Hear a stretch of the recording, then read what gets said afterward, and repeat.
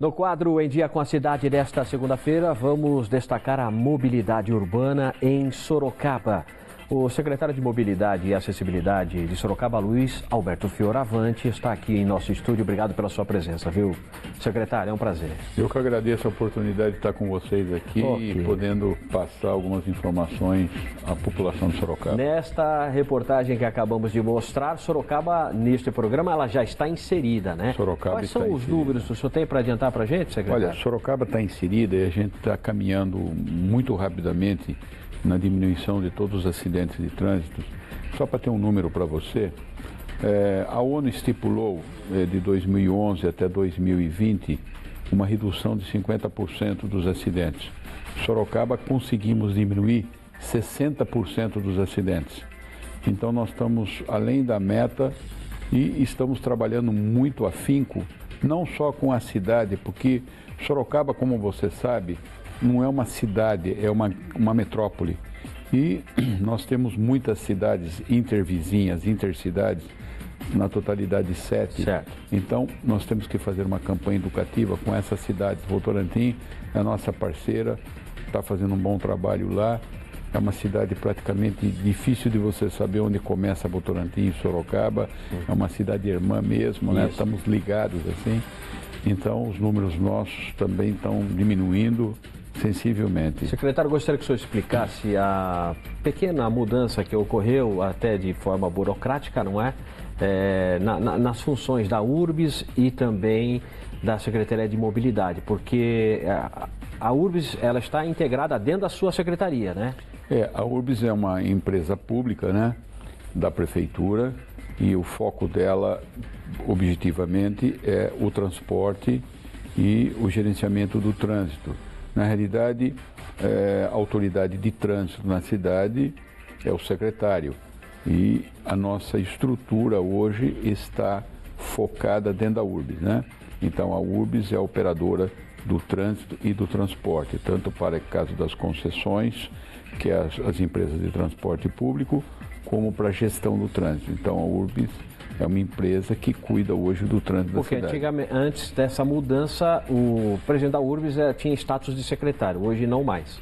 Hoje ele tem status Sim. de secretário, mas ele está focado certo. na área de transporte.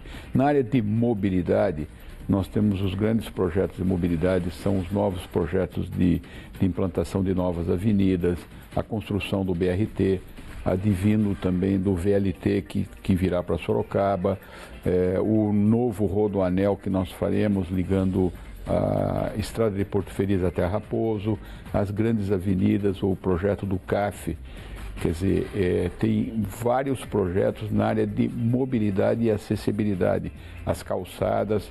Nós temos um evento muito importante acontecendo em Sorocaba no dia 25 agora.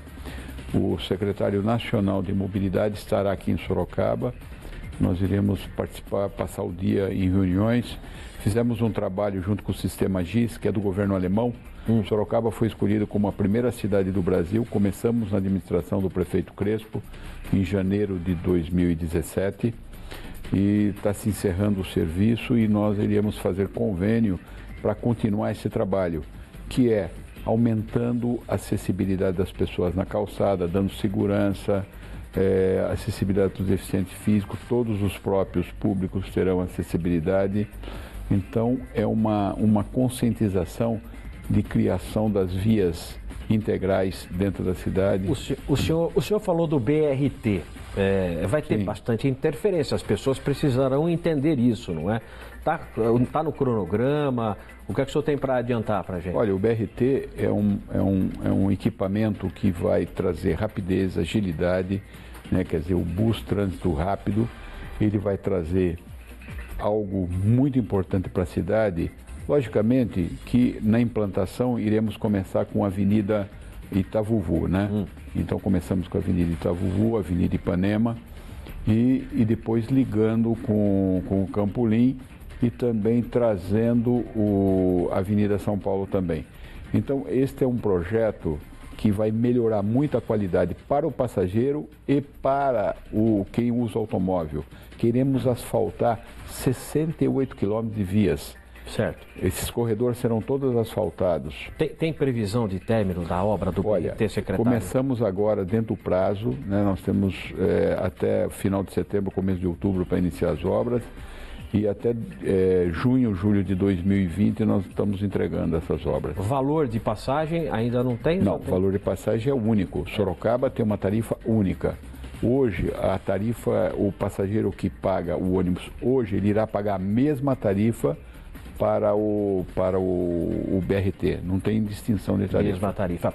O senhor falou do VLT, o veículo leve sobre trilhos. Sim. Vai ser uma realidade mesmo em Vai Sorocaba? ser uma realidade. Nós devemos estar, os estudos, iniciamos os estudos, ele irá aproveitar, nós já, a, a URB, só para você ter uma ideia, ela já se transformou numa empresa de transporte ferroviário também, Hum.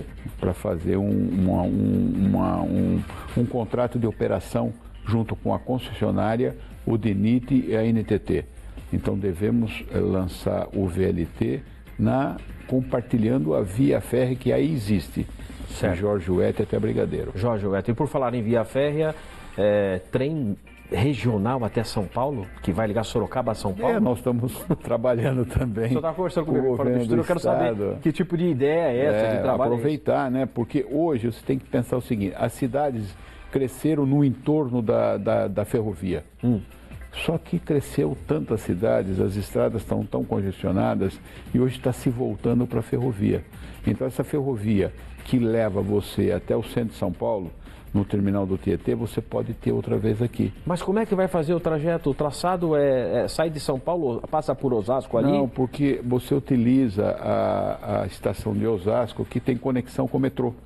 Então você sairia de Sorocaba, iria até Osasco e aí você poderia fazer conexão tanto para a região metropolitana como para o metrô. Então você está Mas, a- mas, a- mas o trecho de via férrea tá ok? Dá para utilizar, secretário? Está ok, lógico que precisa de uma certa revisão. Ela é bitola métrica, hoje tem equipamentos modernos que operam na bitola métrica numa velocidade compatível a 90 km por hora. Passaria por São Roque ali? passaria por São Roque, Mairink, São Roque, é, e é, o ABC, é, Barueri, né? Certo. Itapevi, atingindo a Ah, cidade de Osasco tá e São certo. Paulo.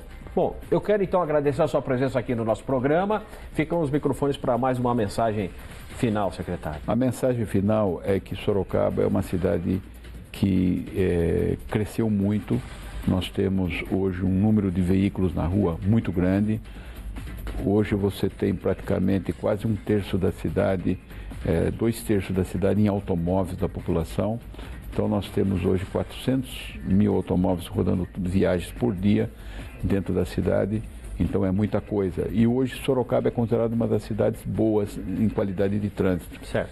e de acidente. Então, nós iremos melhorar. Então, Sim. que a população entenda o trabalho que a prefeitura está fazendo, o nosso prefeito está fazendo, para melhorar cada dia mais. Muito bem. Bom, a gente falou de VLT, só para terminar, a gente falou de VLT, falamos BRT. aí do, do trem regional. Não são projetos para quatro anos, é mais para frente. Mas pelo menos vocês estão iniciando. Não, nós Não, o iremos, VLT dá. nós iremos entre- o prefeito neste mandato ele vai entregar o BRT e o VLT. O VLT também? Sim, em dois anos? va- Vamos entregar, se Deus Bom, quiser. que assim seja. E mais as vias, né? Nós temos Sim. as avenidas que estão iniciando, né? Que é o projeto do CAF, do, do, do Fomplata, do NDB. Então nós tru- foi feita uma captação para o sistema viário da cidade muito grande, quase um bilhão. Muito bem, obrigado, viu? Assim Eu que seja. agradeço. Sorocaba vai agradecer, né? Muito. Bom, esse foi o secretário de Mobilidade e Acessibilidade de Sorocaba, Luiz Alberto Fioravante, no quadro Em Dia com a Cidade, hoje.